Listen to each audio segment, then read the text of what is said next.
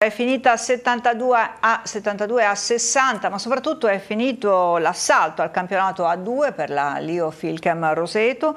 La promozione infatti se l'è assicurata il team di Nardò, anche se la Lio Filchem ha condotto gran parte della gara. Il finale però è stato tutto della squadra pugliese. Nella sfida decisiva in Puglia, Roseto dunque è caduta a Nardò 72 a 60, ha condotto il gioco per tre quarti di gara gara e poi invece il quintetto pugliese ha vinto eh, la Serie 3-2 e approda in A2. Ultimo quarto fatale alla Lio Filchem Roseto, eh, ma eh, i ragazzi di coach Trullo hanno giocato comunque una partita coraggiosa e importante, condotta, ripeto, per tre eh, frazioni.